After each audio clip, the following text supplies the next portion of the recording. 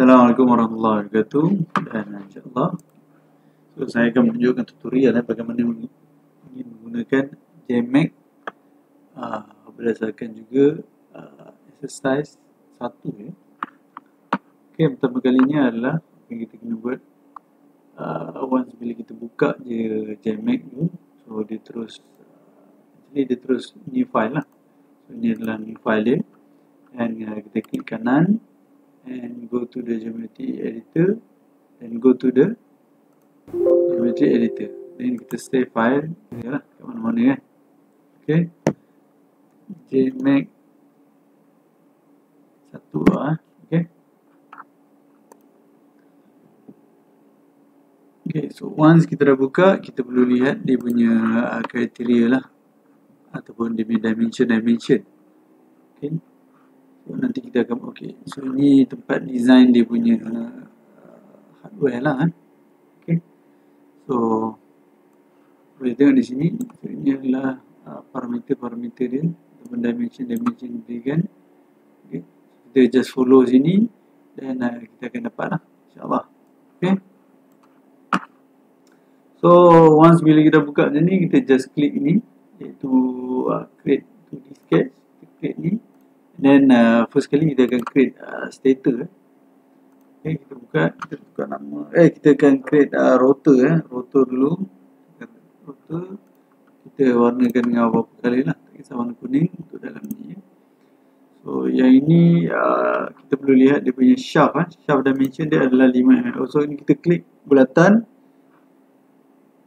Dan kita klik. Dan kita klik dekat mana-mana. Dan kita tukar radius dia eh. Radius dia kali ni kita akan letak 5 iaitu radius shaft dia lah. Kemudian outer dia adalah uh, sebenarnya uh, 24.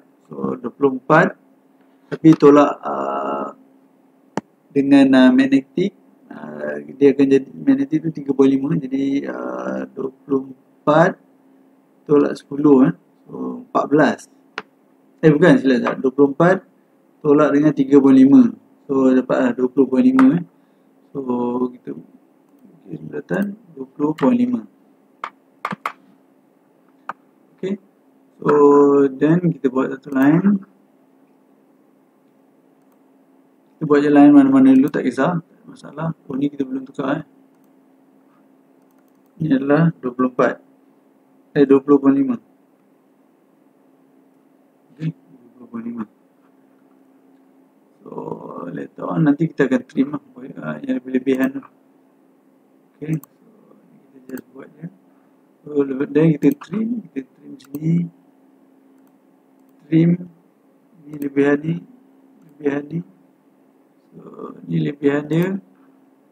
Dan ni juga adalah lebihan dia. Ni akan jadi Separuh lah. Belum belum siap habis lagi Okay, kemudian kita akan buat satu line. Um, so, nak tentukan jarak dia. So, begini. Uh, ok distance so, kita nak 5 dapat dah 5 di sini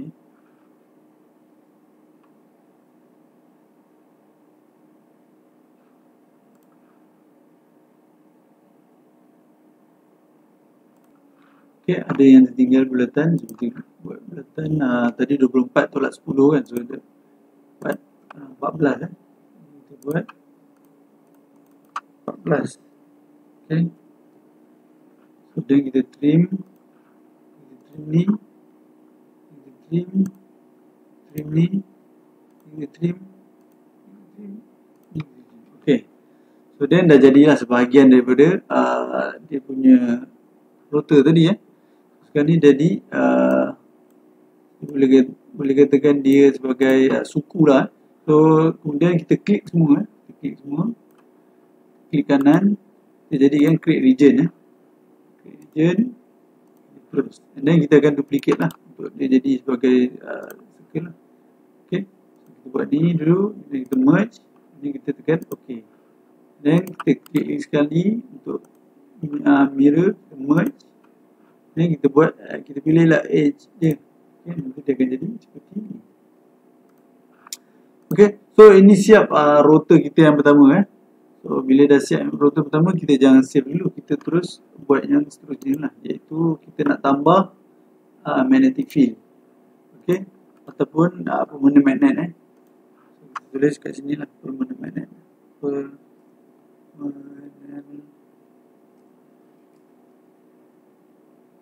magnet. Okay. So kita nak warnakan dia warna apa lah. Tak kisah. So kita buat tambahan dekat sini. Tadi kita ada tolak 3.5 kita tambah kat sini sebab rotor biasanya hujung dia akan ada uh, magnet lah. Okay.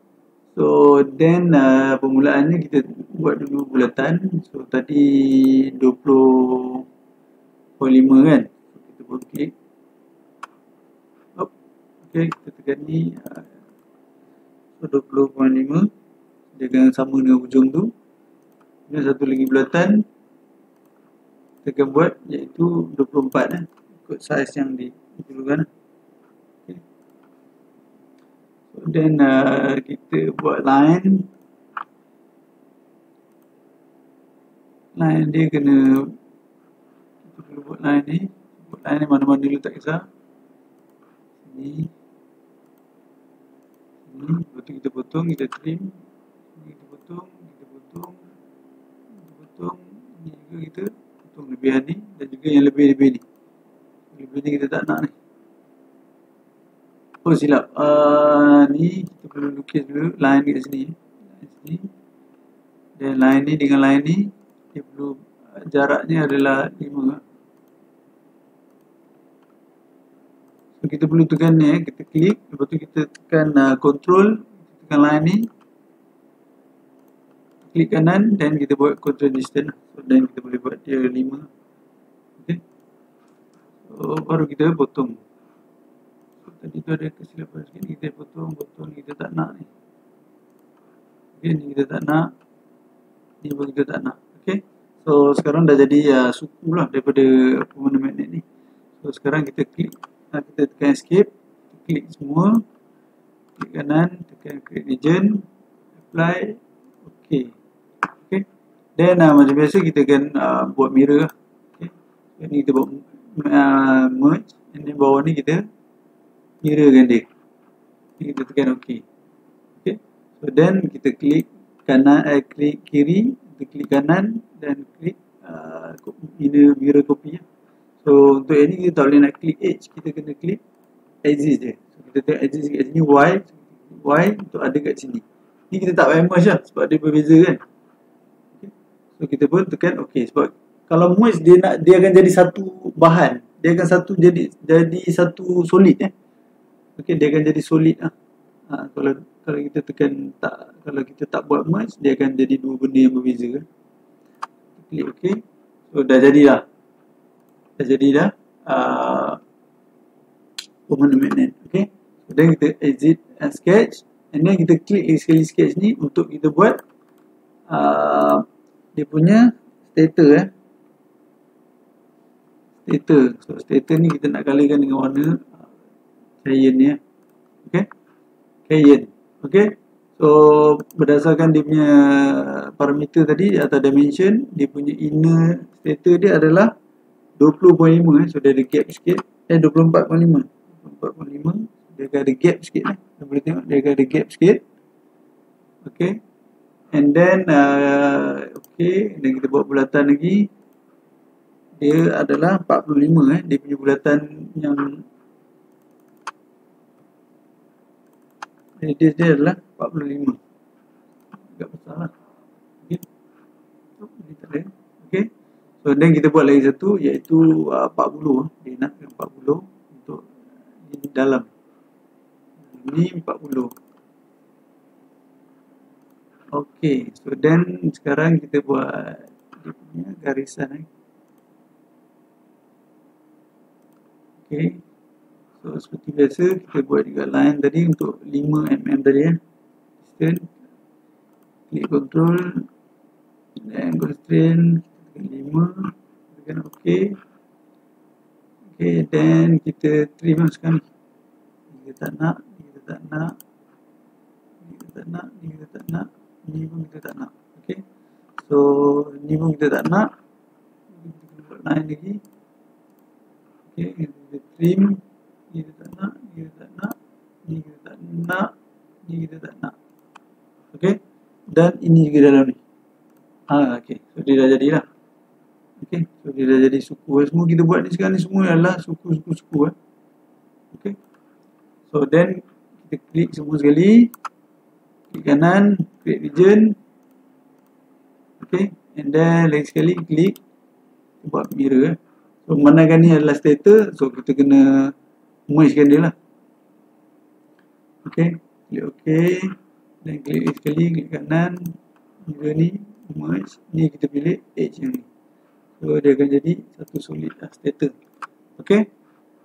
So okay.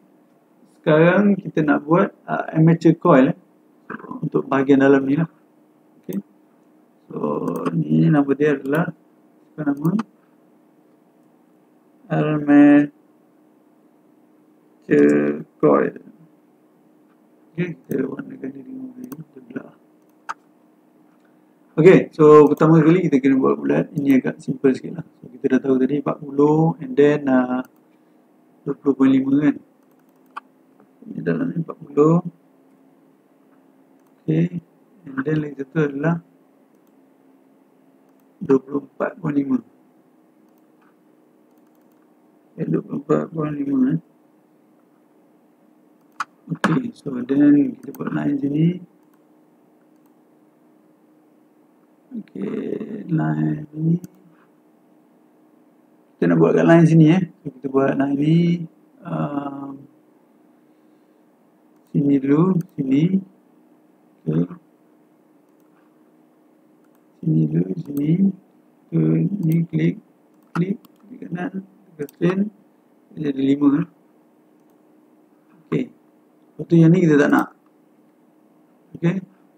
Kita buat ni trim trim trim trim trim okey jadi okey so then kita klik semua kita jadi klik region apply, kita close. Okay, tapi kali ni uh, mandakan ni adalah coil. Coil adalah dia kena part yang berbeza. Eh. Dia tak boleh part yang sama. So, kita tak boleh merge kan dia. Kita jangan merge. Okay, kita just uh, ada edge je. Okay.